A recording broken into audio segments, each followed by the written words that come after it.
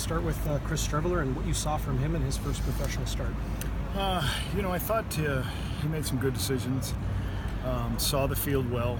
Um, you know, one of his interceptions was, you know, that's a what might be one of the better interceptions this season. And uh, you know, I thought he uh, managed to move the ball when we needed to, and um, just again, is a guy who hasn't played a lot of football, so we had a couple things that are open, the right spots, and he just doesn't have his eyes right because it's maybe second time he's ever had the rep or third time he's had some of these reps full speed. So a lot of room to grow, but uh, I thought he commanded the huddle. I thought he, when we talked about things that, uh, in, in, the locker room and say, do you think this is going to be there? He recognized it and threw it for touchdown. So he did a good job. It's probably fair to say it is an unknown with uh, a player making his pro debut, but it sounds like overall you were pleased with what you saw.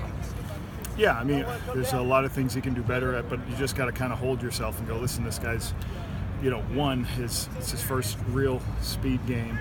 Two, I don't really know the guy from a play calling standpoint. I've called about 20 plays for him, so I got to get to know what he likes best and uh, what he's comfortable with. So, um, you know, room to grow, but we'll just keep coaching what changes this week uh, in uh, facing Montreal and a defense with a lot of playmakers?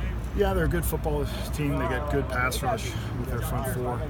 Uh, they can drop into coverage and, and, play the deep ball well. They stopped the run last week well. I mean, BC really struggled um, on second down. Uh, I think they only had two conversions. Uh, on second and long, and uh, so they do a really good job. So you got to try to stay out of second long as much as you can. Um, but uh, you know, talented unit. Westerman's fast. Um, you know, the guys in the back end, got veteran players. Campbell's a good corner. So good football team. What did you see from